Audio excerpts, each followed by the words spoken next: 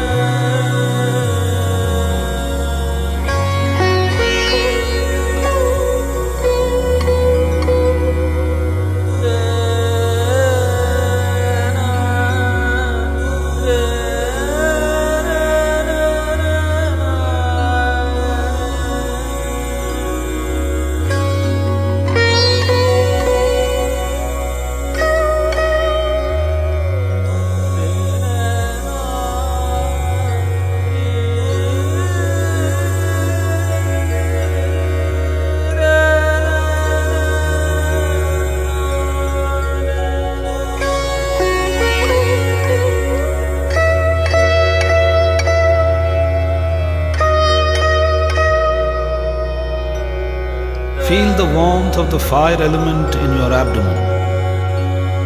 Feel it spreading slowly into your chest, into your face, in your hands, your legs, and the whole body.